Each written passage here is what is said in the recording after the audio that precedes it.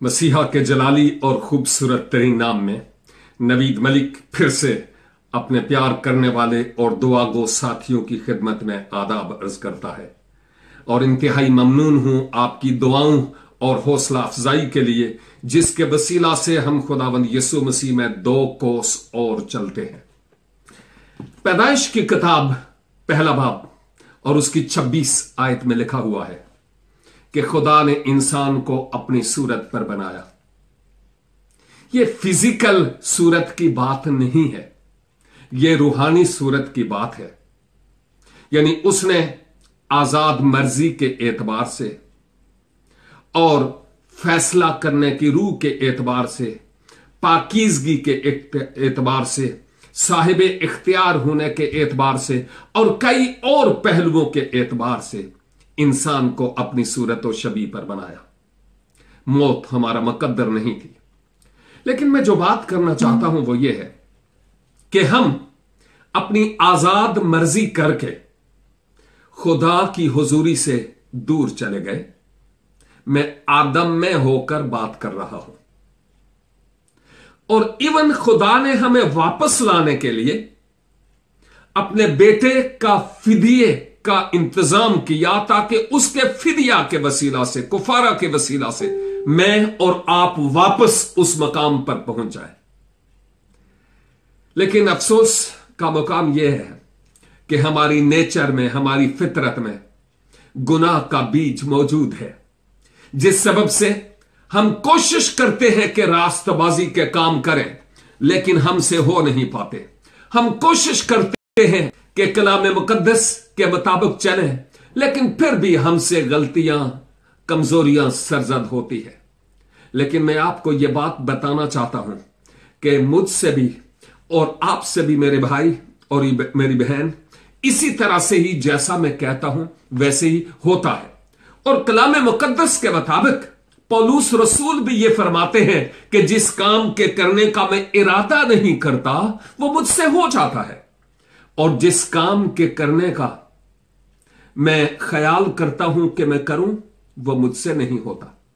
لیکن ساتھ ہی ساتھ میں آپ کو یہ بات بھی بتاتا چلوں کہ چونکہ خدا ہمارا روحانی باپ ہے، وہ آپ سے میری بہن اور میرے بھائی تجھ سے پیار کرتا ہے، وہ مجھ سے پیار کرتا ہے۔ اور جب کبھی ہم نافرمانی کی ڈنڈی مارتے ہیں نا، کدی کدی ڈنڈا بھی مارنے ہیں۔ لیکن جب کبھی نافرمانی کی ڈنڈی مارتے ہیں، تو چونکہ وہ ہمارا آسمانی باپ ہے، اس لیے بعض اوقات وہ ہمیں کوٹھالی میں ڈالتا ہے، بھٹی میں لگاتا ہے، تاکہ ہم واپس اس کی طرف لوٹ آئے چھوٹی سی مثال دیتے ہوئے اپنی بات کا اختتام کروں گا۔ ایک غیر ملکی شخص کسی ایشین ملک میں چلا گیا۔ اور پرانے وقتوں کی بات ہے، وہاں پر اس نے دیکھا کہ ایک سونار مٹی کے ایک برتن میں چاندی سلور رکھ کر اس کو بھٹی میں لگا رہا تھا اور بار بار لگا رہا تھا اور تیز آگ کے شولوں میں اس کو گرما رہا تھا۔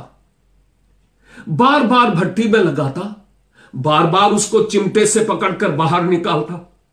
پھر اس کو بھٹی میں ڈالتا، پھر اس کو کچھ دیکھتا، پھر نکالتا، پھر بھٹی میں ڈالتا، پھر واپس نکالتا اور دیکھتا، پھر اس کو ڈالتا، پھر نکالتا۔ یہ پروسیس اسی طرح سے جاری رہا۔ اور پھر جو شخص یہ تماشا دیکھ رہا تھا، وہ اس کو کہتا ہے، صاحب، میں پوچھ سکتا ہوں کہ آپ ایسا کیوں کرتے ہیں؟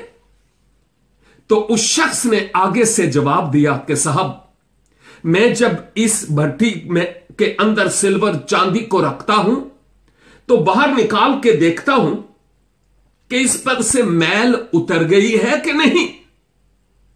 اور جب نہیں اتری، تو پھر میں دوبارہ رکھتا ہوں۔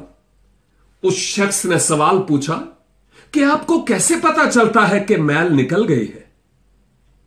سنار نے جواب دیا کہ جب میں اس چاندی میں اپنی صورت دیکھتا ہوں اور میری صورت اس چاندی میں بالکل کلیئر اور واضح نظر آئے تو پھر مجھے پتا چلتا ہے کہ چاندی اب صاف ہو گئی ہے۔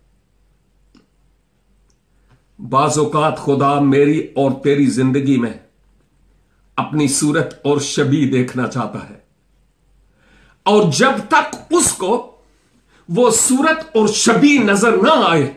اس وقت تک وہ مجھے اور آپ کو اس بھٹی میں لگاتا رہتا ہے۔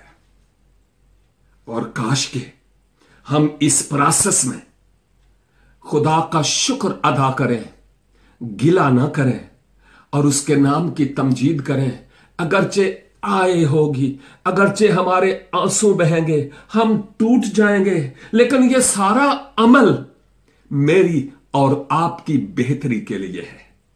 خدا جو کچھ کرتا ہے، وہ میرے اور آپ کی بھلائی کے لیے اور بہتری کے لیے کرتا ہے۔ خداون آج مجھے اور آپ کو فضل عنایت فرمائے کہ اگر سمجھتے ہیں کہ میں آج اس بھٹی میں لگا ہوا ہوں، تو جانے کہ خدا آپ کو پیار کرتا ہے۔ کیونکہ یہ اس کے پیار کی ایک علامت ہے۔ اپنوں کو ہی سمجھایا جا سکتا ہے نا، غیروں کو تو نہیں۔ تو چونکہ ہم اس کے بیٹے اور بیٹیاں ہیں، وہ ہمیں پیار کرتا ہے اور وہ ہمیں سمجھاتا ہے۔